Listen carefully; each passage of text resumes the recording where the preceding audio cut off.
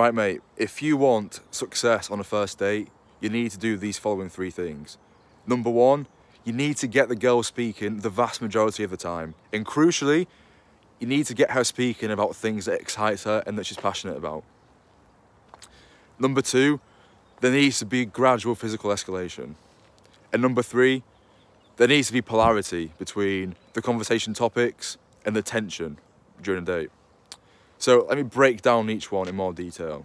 So, number one, get the girl speaking the vast majority of the time about things that excite her. Look, mate, we all enjoy talking about ourselves, don't we? We all enjoy telling, telling other people about ourselves, our accomplishments, our interests, our passions, okay? So, if you want the girl to have the best time possible on this date, she needs to be doing the vast majority of the speaking. And the reason why her talking to you about things that genuinely excite her, that she has a genuine passion for, is so important, is because when we speak about things that we like and we generally have a passion for, naturally we feel better, we feel happier, we release positive endorphins.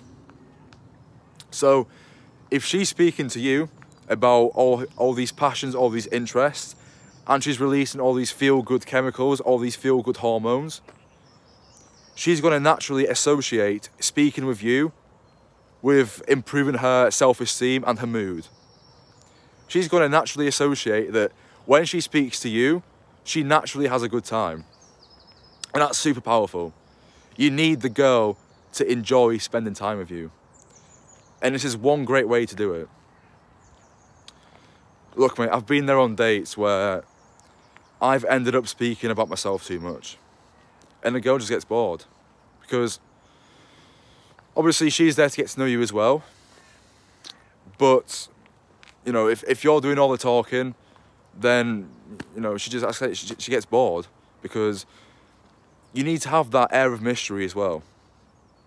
If on a first date, you leave, or say you leave a first date and then you're sort of already worried for the potential second date because you feel like you've told the girl everything about yourself and there's nothing else for her to find out about you, you've done it all wrong.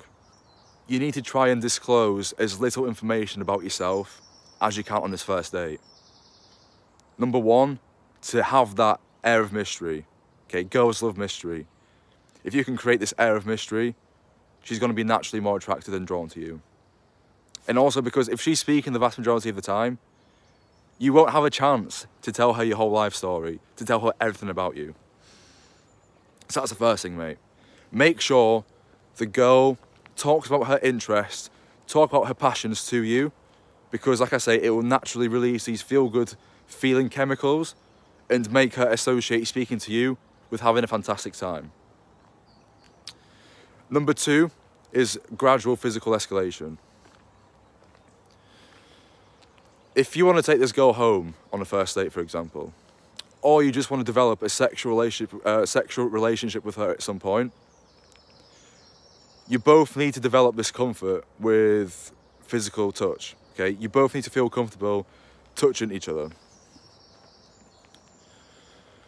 If you want to take this girl home on a first date and you haven't touched her at all during the, uh, during the date, bringing her home is going to be so much harder because you've now got this massive bridge that you haven't crossed yet. You've got this massive like chasm that you haven't crossed yet. Physical touch.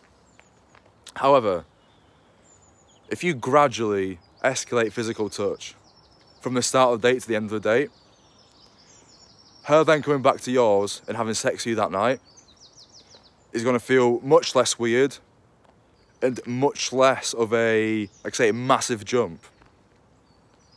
You want the whole thing to be a smooth escalating curve. So how you do this is, obviously at the start of the date, it's very subtle. You know, the odd touch of the hand, touch of the thigh, just little touches here and there. Then further along in the date, if you're both obviously getting along well, you can put your arm around her. You can again touch her thigh, but leave your hand there for a little bit longer. This is going to build comfort with the girl. As you're gradually increasing the physical touch, the girl is just going to feel more comfortable with you touching her for longer and longer periods of time. And therefore, like I say, it's going to give you a much bigger chance, a much better chance of her being comfortable that night to coming back home with you and sleeping with you if that's what you want. Like I say, even if it's not, if you're looking for something more serious, you need to develop that comfort within her and within you to be able to touch her for longer periods of time and her feeling comfortable with it. And mate, look, if you do want to sleep with her and you don't have any physical touch during the day, it's not going to happen. Mate, I've been there as well, okay, where in the past, obviously, you know, usually people like to sit opposite on a, so say you go to a bar or a restaurant, the normal thing to do is sit opposite each, uh, opposite each other. Don't do this, mate. This is the biggest problem or the biggest, the biggest block that's going to prevent you from escalating in physical touch. If you sit opposite each other, how the hell, unless you have like 10 meter long arms, how the hell are you going to escalate physically? There's absolutely no way. So, whenever you go to a bar or a restaurant, sit, so don't sit opposite her, sit adjacent to her so that you can reach her thigh, reach her waist, reach her hands. That's the only way that you can actually escalate this physical touch. And it's crucial, mate. Like I say again, I'm going to reiterate it so you get the message. It builds that comfort within the girl. As you escalate physically, she's going to feel more comfortable with you. And therefore, it increases the chance or the likelihood of her coming back to yours. And the third thing that you must do on a first date to have success is have polarity in conversation topics and also in your demeanour. if a conversation is all just get to know you stuff, it's boring, mate. You've built no sexual uh, tension, no sexual chemistry. There's absolutely zero chance that the girl's gonna go home with you or see you again. Because, like I say, you haven't built that sexual chemistry. On the flip side, if the whole date is just sexual innuendos and just teasing and flirting and no no get to know you stuff, no more no laid back stuff, it's going to also be a bit weird for the girl. So the key is to have both. Have that polarity between get to know you conversations, get to know you questions and being more laid back, but also more sexual questions, more sexual conversations, more sexual tension, flirting and teasing. If you can balance the two, if you can incor if you can incorporate both into the date, it's going to give you that perfect balance of displaying to the girl that you are sexually interested into her, but also that you want to get to know her more as a person. And this is the perfect combination. So mate, to recap, the three things you need to do on a first date to maximize your chance of success.